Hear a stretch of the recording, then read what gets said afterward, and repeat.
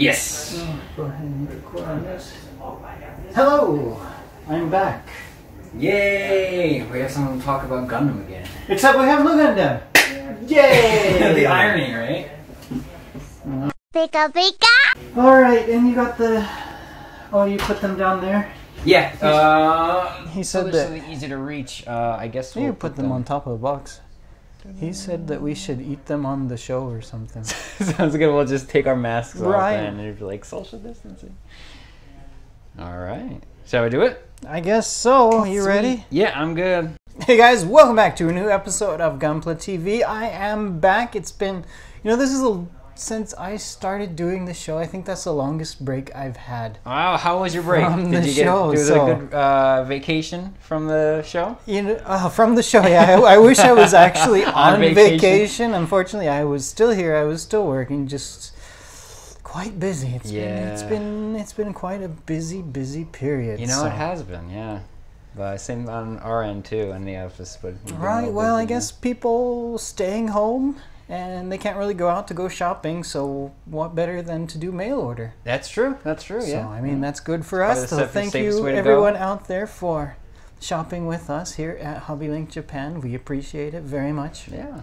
And speaking of shopping with HobbyLink Japan, that is the point of this episode because we actually have new items that just came into stock to talk about. So that is what we are going to do. Isn't that right, Mr. Evan? That's correct. So, uh, what do we have first? What should we look at first? What do we have indeed? We'll take these Pikachu gummies All right, off. so We're gonna we save maybe save that for last. Yeah, save, that, for last. Let's put that down there. and what do we Unfortunately, there's no Gunpla this week. I know. I'm, I'm finally back, and there's no Gunpla. Well, yes. so as soon as we have someone else to talk about Gunpla with, Right, no Gunpla.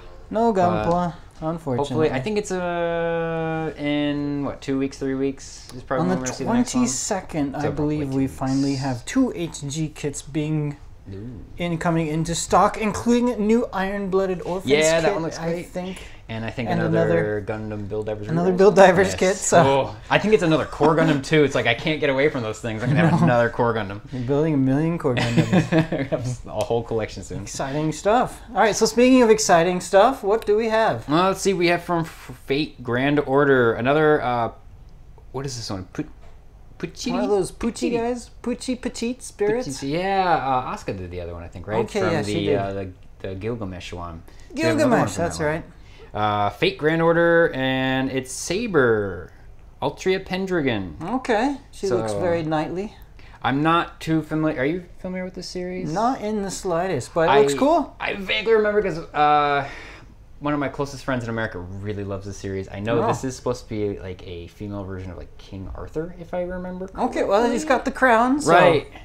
So pretty cool, and uh, it's kind of got that like Nendroid look to it. Very, Yes.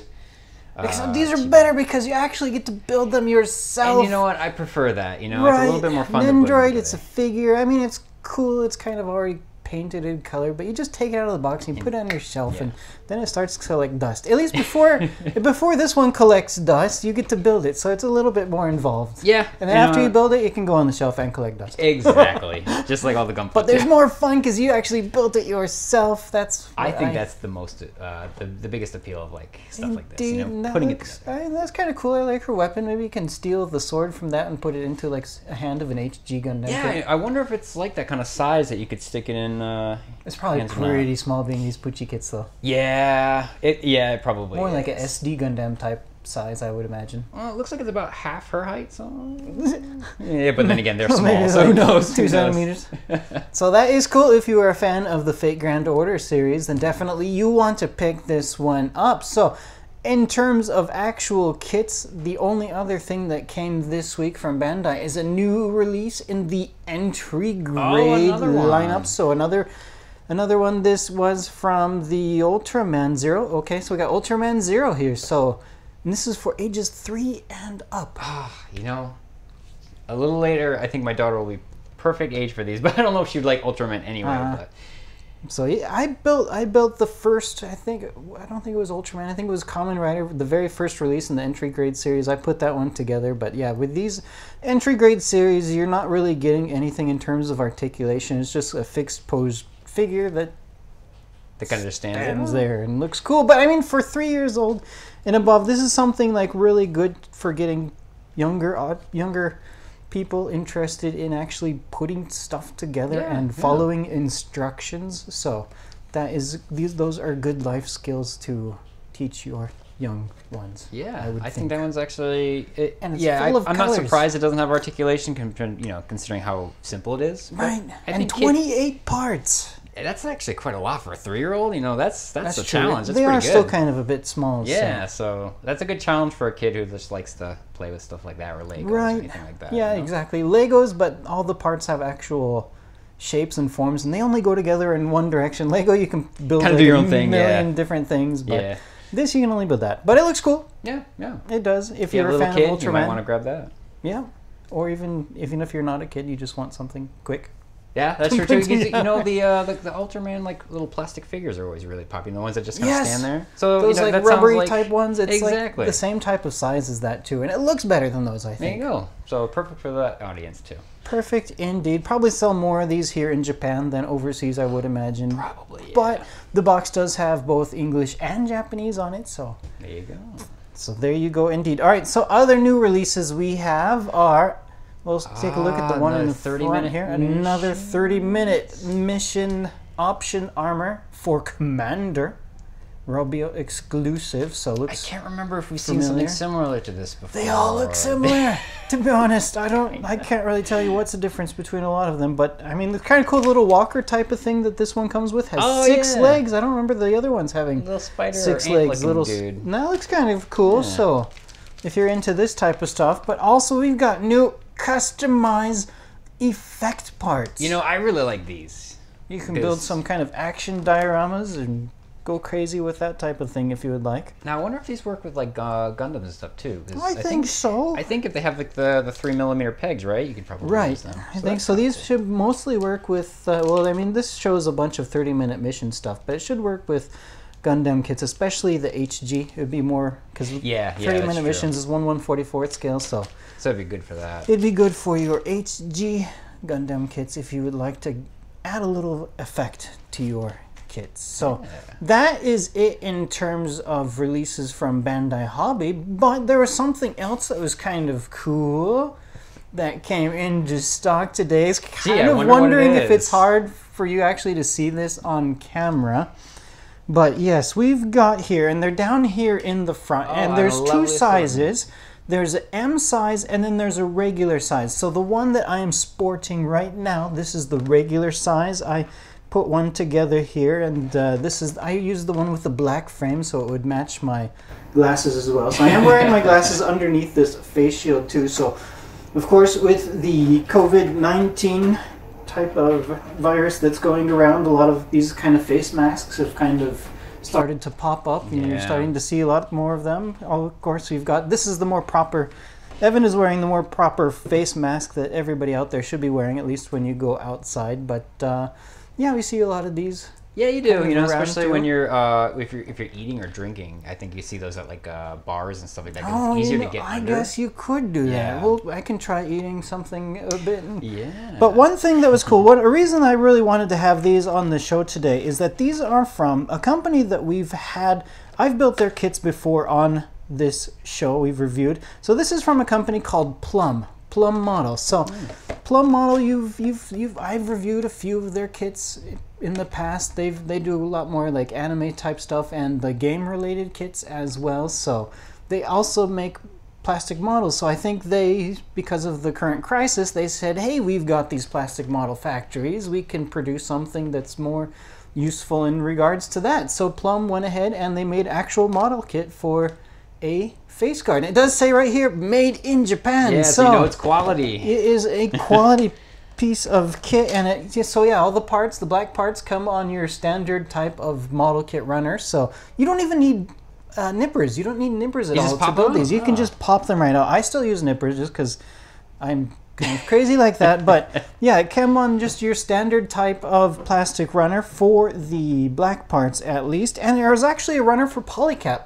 yeah, there is. There is Oh, right there's there. a tiny polycap uh, runner in here as well. And so this the little polycap pieces they're used for actually holding on the the face masks. Oh, like a little too. button. Yeah, like a little button to hold Ah. the actual clear shield onto the front, as well as to hold the side pieces of the glasses Oh, on, nice. and uh, the little nose piece as well. So a few polycap parts, and yeah, so that's kind of that's kind of interesting. So I have it's actually two face shields included as well. So I have the larger style on equipped right now but if maybe you have a smaller face or maybe if this is going to be worn by somebody a bit younger there's also like a half size clear shield included into the box as well quite so you have your choice.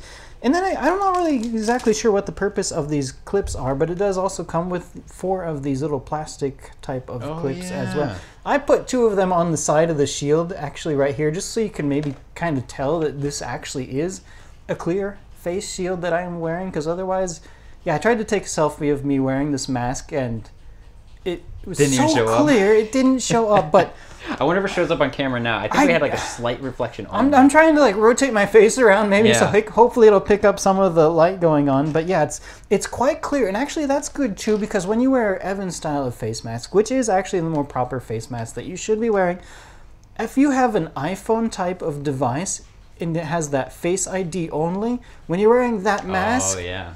Good luck. Face ID no longer works. So I'm yeah, I got, I got that brand new iPhone last year. I'm like, hey, I got the Face ID now. No more of the fingerprint sensor. And now I really wish I had that fingerprint sensor back because the Face ID just no longer works when I'm wearing the mask. But with this clear shield, actually, the Face ID does work. Nice. There you go. Again, and you're so- protected. Kind Kind of. of. I'm- Maybe not so much on the sides and the tops. but- Yeah, I, I, I mean, I don't want to like go out and say this is going to definitely like keep you from ever getting the virus. It's I, mm. it definitely seems like something like worst case scenario if you're out and Right. it's not a huge like issue. Maybe I don't know. Maybe I could I could try jogging with this thing. That would be kind of fun. Another good thing about this is I noticed it doesn't fog at all. So I I've Oh, it been doesn't. wearing it that's now at all, and I like I would expect that it would start to fog up on me with my breath, but there's been no fogging so far. So that's actually quite nice. But so yeah, maybe not the most effective thing in terms of keeping you safe, but it's something. If maybe got a it's- scooter or a bicycle, it's a good bug windshield. A big. right? I think this thing is. It's. It's. mm, I think if you're on a bike, I think this is going to be too Too loose, yeah. too loose and it's gonna off. yeah fly right off on you. So it's, I wouldn't try that. But uh, yeah, it's it's something. I mean, Plum. Plum, they're trying, so they're trying to do something. So all of these are available on our site, and I think they are all still in stock at the moment that we are recording this. Anyway, Get So- that hot pink one. I like yeah, that. that color. kind of cool. Maybe I should have went with the hot pink. Maybe not. I actually might. I might keep. You know, I might keep wearing this. You know, like go to Tokyo. I don't know if I want to go to Tokyo right now, but I should. I should sport this when I go out to like. Uh, I feel like I've seen that in shop, like uh, restaurants or something like that, where waiters have been wearing Right, something I- like that. yeah, I, I actually- s- I think I've seen it somewhere. Like I, I think yeah, in the restaurants they they kind of tend to wear this stuff too. So hmm, maybe maybe I wonder if I could go to the gym because my gym now requires everyone wear a face mask, but you can't really jog on a a mask. treadmill wearing a mask. At least I get too hot and I can't breathe. I wonder if this would be acceptable. you should go in and walk in and find out. And then I end up with corona. oh no! oh no, we're all gonna die. But it is good for snacking. So Well, yeah, so good for- speaking about trying to uh, eat while wearing one of these things, we got something else not Gunpla related at all. No, but I guess we've had Pokemon stuff on the show. We so have we had indeed. So we actually are selling. So those of you familiar with our site, we do sell snacks on our site, and it started a couple of years ago. Yeah. So it's summertime, we don't sell chocolate because it melts too early. But it's perfect season for gummy type of snacks that will not melt on you. So Evan, what do we have? Oh, we have. Uh, I want to say it's puree, right? Puree. Uh, Sounds Pokemon. fancy. Yeah, that sounds fancy. Tropical fruit and cola gummies. And Tropical fruits and cola. I don't think it actually says it on here, but I'm pretty sure these are sour too. Ooh. Yeah, so these are sour tropical fruit and cola gummies that are Pikachu shaped. They're pretty nice. Shall we try? Yeah, let's do it. I stole these off Dave's desk. Thanks, so- Dave. Yeah, thank you. Let's give it a shot. Okay, so we've got how how are these? I don't know. Go for it. Oh, all right, I'll, I'll take the first one here. Thank you very much. so we got little cute kind of Pikachu shape going on here with the gummy. Probably you can't see that at Yeah. all. It's got like a little head and a time. Yeah, let's zoom in there. There you A little tail. Tail, So see and it's it it's a dark color, so it's kind of because this is supposed to be fruit and cola. Yeah. Is it really color? So here goes the taste test. I gotta go up under my face mask. I'm just gonna expose my face now. Hmm. It's definitely sour. It is a bit sour, They are bomb. but nothing compared to They the sour candies you can get in the U.S. Oh no, like like warheads and all those. Oh, those were so good. I miss those. I've searched all over Japan. I've none of the sour candy here is just matches the yeah, Ori. those things will like burn a hole in your tongue, but they're good. Right. These are kind of like a refreshing, slightly sour. You know, It goes away really quickly. Slight, slight sour, Yeah. but I think like the sugar crystals on the outside Mm. of the sour part, and then as soon as that goes away, it's nice and sweet. It's pretty Mm. good. it's pretty good. Uh, What do you say? Does it really have a cola flavor to it? You know, I would say it's more tropical than cola. It's got a bit more of an aftertaste of cola to it. Ah, Mm, okay. Tropical, I'm not sure what kind of, maybe a pineapple or a mango or kind of mix like that. It's hard to tell. Tropical fruit combo. Yeah, it, it does have definitely does have a bit of pineapple on it. Hmm. Thank you, thank you, thank you, thank you.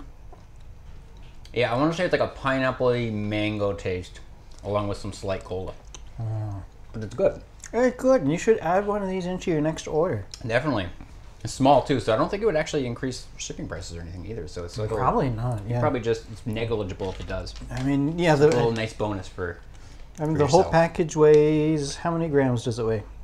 Fifty-six grams. So Yeah, this so would add fifty-six grams add- to your next shipment. That's not really nothing.